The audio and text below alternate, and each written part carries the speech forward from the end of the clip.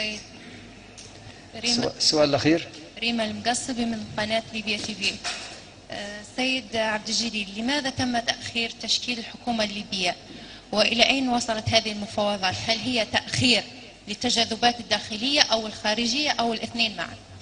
حتى إحنا عندنا قناة زي نسمع عندكم. قال على الأقل هذه ما تعرضش فيها في أفلام مخالفة للدين الإسلامي لأن هنا يقطع رأس على طول. هذا